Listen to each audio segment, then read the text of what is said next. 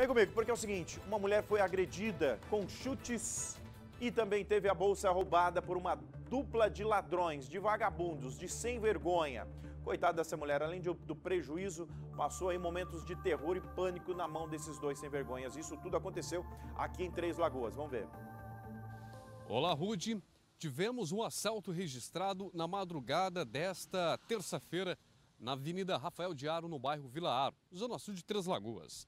Uma mulher de 39 anos retornava do trabalho para casa quando foi abordada por uma dupla de ladrões que estava em uma Chinerai prata.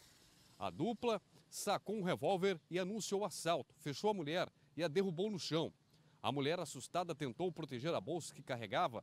Os ladrões, sem piedade, começaram a agredir a mulher com chutes e soco e tomar a bolsa dela, dizendo: perdeu, passa tudo. Na bolsa havia celular, carteira, dinheiro e também as chaves do trabalho.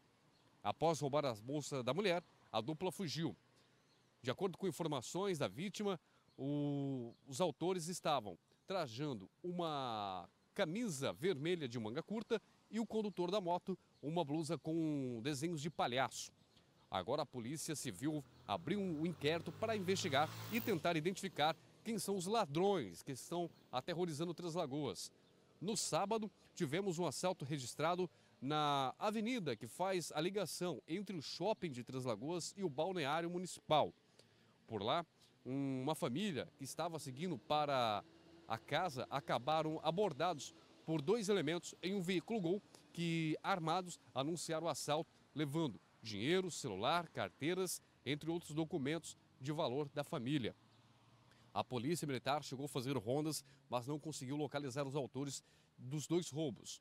Agora, o SIG, Setor de Investigações Gerais, a primeira delegacia de Polícia Civil, a segunda, a terceira, estão em campo para tentar identificar quem são esses criminosos e levá-los para trás das grades antes que eles façam mais vítimas. A gente vê que depois de um bom tempo de cidade tranquila e pacata, os números de roubo está voltando a crescer.